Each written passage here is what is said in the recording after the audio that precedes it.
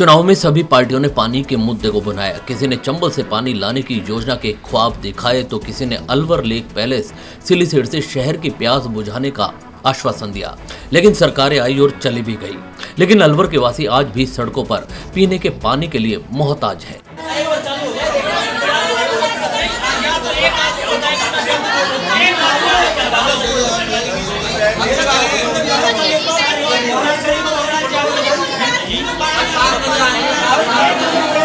पानी के लिए शहर में फिर हंगामा नज़र आया। अलवर के विकास पथ पर महिलाओं पुरुषों ने पिछले चार महीने से क्षेत्र में पानी नहीं आ रहा इसके चलते आक्रोशित होकर जाम लगाया। मौके पर जलदाय विभाग और पुलिस जाप्ता भी मौके पर पहुँचा और समझाइश कर समस्या के शीघ्र समाधान का आश्वासन दिया। यहाँ मौजूद महिलाओं ने बताया कि किस तरह घर के सारे काम छोड़कर पानी के लिए भटक रहे हैं और अधिकारी बेपरवाह नज़र आ रहे हैं। विकास पथ हिंदू पाड़ा में बताता हूँ। विकास पथ हिंदू पाड़ा दिल्ली दरवाज़ा में जो अपने ट्यूबवेल है उनका डिस्चार्ज कम हो गया।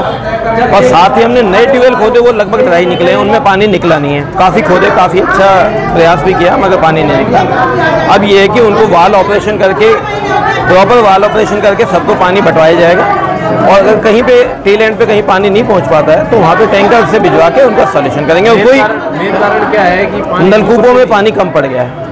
बहुत कम पड़ गया है नलकूपों में पानी। ये। आप क्या बारिशों पर निर्भर हो गया? नहीं बारिशों पे बारिश के हम लोग नलकूपों पे निर्भर हैं। नलकूपों में इस बार बारिश पिछले दो साल से नहीं होने से कम पड़ गया।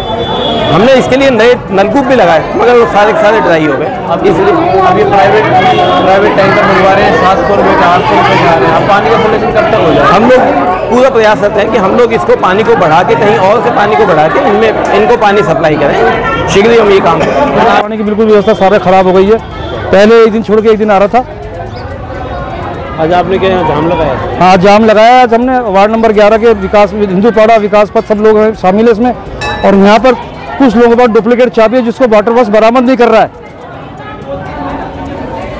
और ये विकास पथ की बोरिंग थी जिसका पूरे इन्होंने 24 घंटे चला के नाश कर दिया। कौन सा वार्ड पड़ता है? ये 11 वार्ड नंबर 11 अच्छा कितने दिनों से पानी नहीं आ रहा? अब तो डेढ़ महीने से होली के बाद तो पानी की समस्या हो गई लेकिन पहले एक एक दिन छोड़ के आ रहा था एक दिन छोड़ के आ रहा था अब तो वो भी नहीं आ रहा। अच्छा अधिकारियों से आपने बात करी अधिकारियों से अमर सिंह जी से बात करी एक्शन साहब से ए नारंग साहब से दस बार बात करी जेएन से बात करी है ना? लेकिन कोई सुनवाई नहीं है और मन में आज जहाँ टैंकर बेचता है इनके जो दलाल हैं वो आके काम करते हैं यहाँ पे। अवैध कनेक्शन करवा रहे हैं रात को बारह बजे लाइन खुदवाते हैं जगह जगह अवैध कनेक्शन करवा रहे हैं फेरूल बदलवा रहे हैं। जलदाय विभाग के अधिकारी ने बताया कि यहाँ बोरिंग करवाई गई थी लेकिन पानी नहीं निकल पाया और पहले वाली भी सूख चुकी है। अब दूसरे क्षेत्र से पानी सप्लाई देकर और टैंकर से समाधान किया जाएगा। घर पानी की एक बूंद नहीं आ रही हम लोग बहुत ही परेशान हो रहे हैं। और हमको बिल्कुल ही पानी नहीं मिलता और कभी कहाँ से लेते हैं कभी टैंकर मंगाते हैं कभी कुछ करते हैं। और हम लोगों का पानी भर भर के हम लोग बहुत ही परेशान हो चुके हैं। ये लोग जब भी आते हैं हम लोगों को आश्वासन देते हैं कि आएगा आएगा और आता है नहीं बिल्कुल ही पानी।